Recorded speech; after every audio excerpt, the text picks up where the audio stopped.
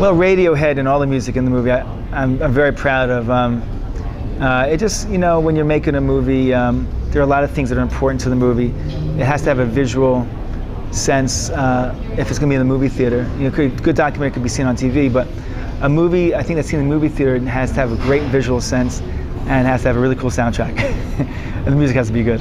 Uh, so um, I think Radiohead just somehow got into the mix and became it was early on one of those songs. We go, oh, this rocks. Let's put, let's put this in the movie. We asked them, and they said yes.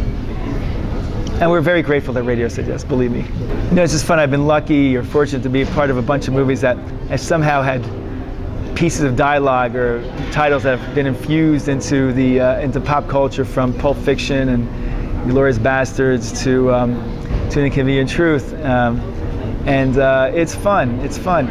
Even Kill Bill is being usurped by. I heard members of the Tea Party, and then uh, and I think Rachel Maddow used it on her show. So it's uh, it's fun. It's it's actually um, it's fun to sort of see that happen.